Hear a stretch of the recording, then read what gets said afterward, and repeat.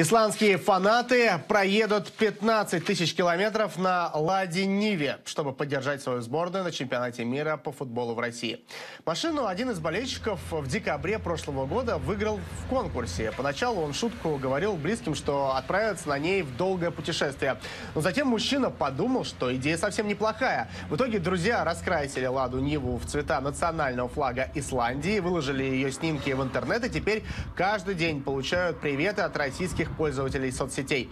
Исландские фанаты сначала поедут на Ниве в Москву на матч против Аргентины, а затем отправятся поддержать свою команду Волгоград и Ростов-на-Дону.